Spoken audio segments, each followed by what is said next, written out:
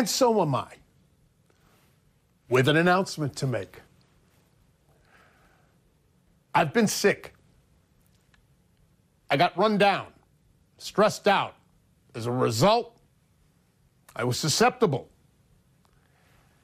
It gave me time to reflect, contemplate with my beloved wife, Jackie. And I've always said to you, as long as I maintain my health and my energy level, nothing wrong with the energy level, but my health, your health, it's the most important thing. With that being said, I'm announcing at the beginning of today's show that we will continue doing Drennan Live until the end of the month. And then I'm going to hang it up on Bally Sports Great Lakes. We're going to have plenty of phone calls, plenty of interviews with people on the air and off the air who have been influential and instrumental in my broadcasting career. I'm excited about it.